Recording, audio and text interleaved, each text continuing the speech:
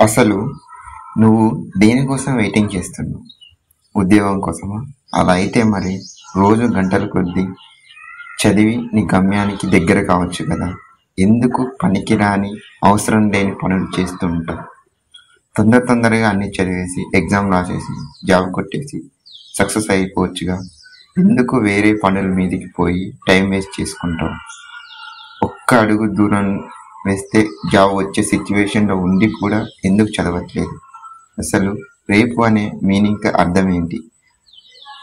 ఈరోజు నీ వల్ల కాలేని పని రేపటి రోజు వరకు నేను కష్టపడితే తర్వాత రోజు ఖచ్చితంగా నా ప్రాబ్లమ్స్ తీరుతాయని లైఫ్ చేంజ్ అవుతుందని కదా ఆశతో బతికేది.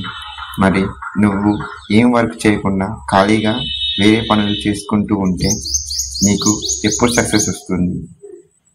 ఈ గోల్స్ లేని వాళ్ళు ఎప్పుడూ ఒకే విధంగా ఉండాలని చేంజ్ అనేది వద్దని అలానే ఉండి మూడు పూటలు తిని ఖాళీగా ఏం పని దొరికితే ఆ పని చేసుకుంటూ ఎటు గాలి వస్తే అటు వెళ్ళిపోయి చివరికి ముసలి వాళ్ళు అయినా సరే వాళ్ళు అలానే ఉంటారు.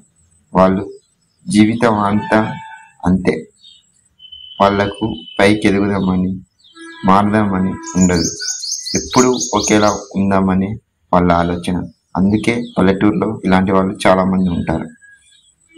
ఇప్పటి నుండి ప్రతిరోజు ప్రతి క్షణం నువ్వున్న స్థితిని మార్చుకోవడానికి ఈ సిచ్యువేషన్ని బెటర్గా బతకడానికి జాబ్ కోసం ప్రతి క్షణం చదువుతూనే ఉండు.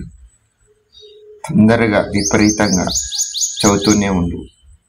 తొందర తొందర ఎగ్జామ్ రాసి తొందరగా జాబ్ తెచ్చుకొని నువ్వు ఉన్న అధ్వాన స్థితి నుంచి సెటిల్ అయ్యే స్థితికి వచ్చేలా ఇప్పటి నుంచే గట్టిగా ప్రయత్నించు.